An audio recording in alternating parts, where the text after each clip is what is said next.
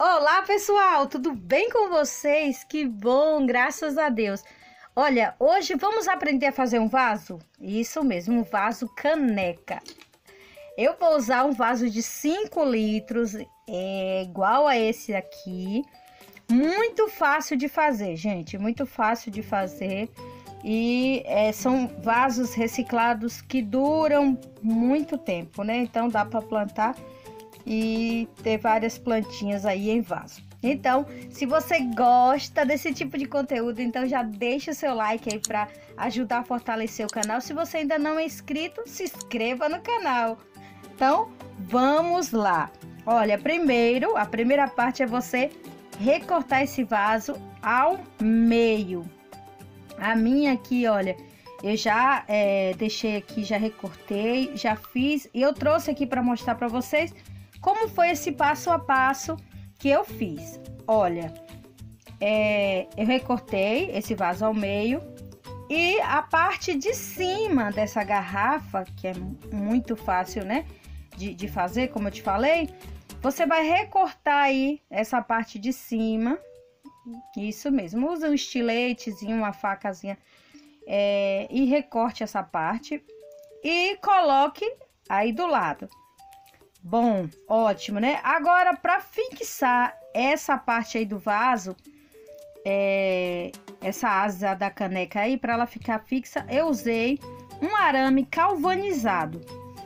Isso mesmo, esquentei no fogo os pedacinhos e furei dois, é, dois furos, fiz dois furos de cada lado e retorci esse arame com alicatezinho por dentro. Fica ótimo, fixa bem, ficou é, bem fixo mesmo e aguenta até com o vaso cheio de terra, dá para você pegar por essa parte aí do vaso. É, olha, quem acompanha o vídeo aí, os vídeos aí do canal, é, eu mostrei no último vídeo que eu ganhei aqui esse caládio e eu preciso replantar ele. Olha, tem esse outro vaso que eu fiz aqui também mas hoje não é esse que eu vou ensinar. É o vaso da caneca. Então eu vou colocar essa planta aqui, esse caládio, é, nesse vaso e vou colocar mais outra cor de caládio junto. Quero fazer um arranjo de caládio com esse vaso.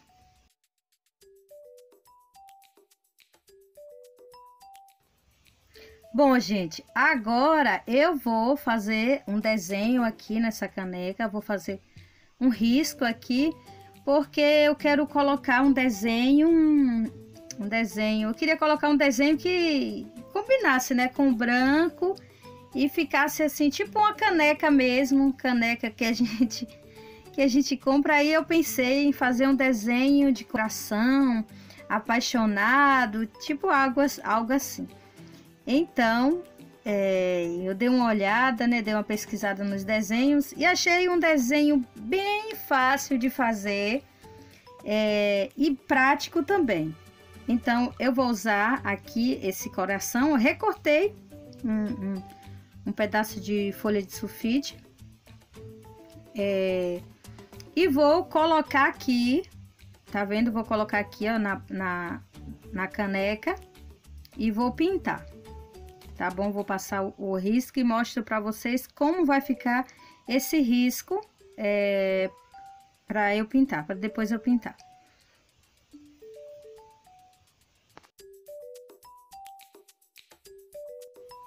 Ah, sim, outra coisa também. Eu escolhi o branco porque no caládio, na folhagem do caládio, tem o branco. Então, eu queria combinar essas cores. Olha, gente, aqui eu já fiz o risco, tá vendo? Eu já fiz esse risco aqui. E eu vou pintar agora e trago para vocês, para mostrar a vocês como ficou o resultado da pintura. Olha, gente, já terminei aqui a, a pintura. Como eu tinha falado para vocês, né? Eu fiz o desenho do coração, coloquei aqui é, risquei com depois eu só pintei. Bom, o outro lado também eu pintei, tá vendo?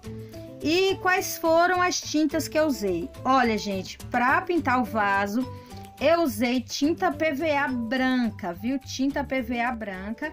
Prontinho, e pra gente, pintar o já coração, eu usei tinta aqui, PVA essa muda e outra muda de outra cor, né? Coloquei duas, duas cores aqui de caládio. O vaso, como vocês já viram, ficou uma graça. E plantado então, ah, ele ficou lindo, olha. A caneca ficou uma graça, gente. Eu achei que ficou muito lindinho, por quê? Porque é um desenho simples é, e que é fácil de fazer. Olha, esse desenho aqui foi só. Eu, eu olhei assim e fui passando risco, ficou muito fácil de fazer. Nesse aqui, olha, eu plantei como eu consegui dividir a mudinha que eu ganhei. Tinha duas, duas batatas, então deu para dividir. Eu plantei essa outra mudinha aqui, nesse vaso aqui também. E o resultado do vaso, né, que eu plantei, ficou assim. Olha, eu gostei bastante do resultado e tenho certeza que você vai gostar também. Se você ficou com alguma dúvida, é só me perguntar aí nos comentários que eu respondo.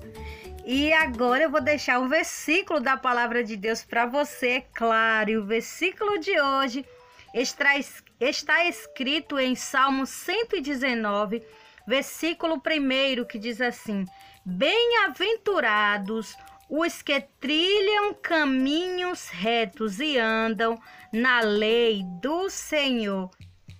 Amém! Graças a Deus. Olha, que o Senhor possa estar te abençoando a cada dia. Muito obrigada por você estar aqui assistindo aos vídeos e me ajudando aí nessa grande caminhada. Que Deus possa estar te abençoando a cada dia, você e toda a sua família. Tchau, tchau, pessoal. Fiquem com Deus. Um beijo e até o próximo vídeo.